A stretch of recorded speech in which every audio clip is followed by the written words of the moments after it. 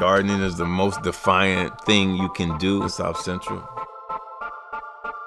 Plus, you get strawberries. My name is Ron Finley, and I'm an eco-lutionary game changer provocateur. I had this strip of land outside my house and was sometimes littered with dressers, couches, mattresses. I said, enough of this. I'm putting food out here. I start planting, you know, vegetables, and all of a sudden I'm a criminal. I was told that I couldn't do this.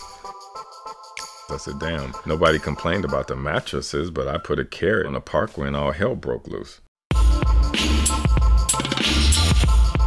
I call them food prisons because basically you have to escape out of the neighborhood to get any kind of healthy food. I just wanted to flip the script and tell people that I believe gardening is gangster. I want people to get involved in growing your own food. The whole series that Beck's is doing, I love it because to me, everything is art.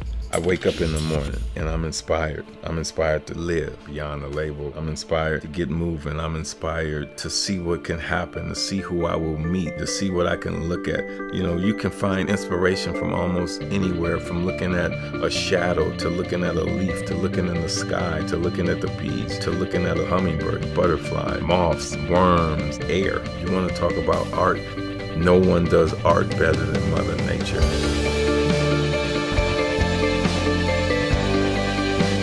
I thought, what makes me happy? I took a photo of some of the sunflowers that I grow. I always try to keep sunflowers on the street just because of how they make people feel. And that's how we came up with the sunflower for the Beck's label. People ask me, well, Ron, where should I start? And I'm like, at the beginning. Just take the first step, draw the first line, plant the first seed. Basically, just do something, get moving, and the inspiration is gonna come. The help is gonna come. If we heal Mother Nature, we heal ourselves.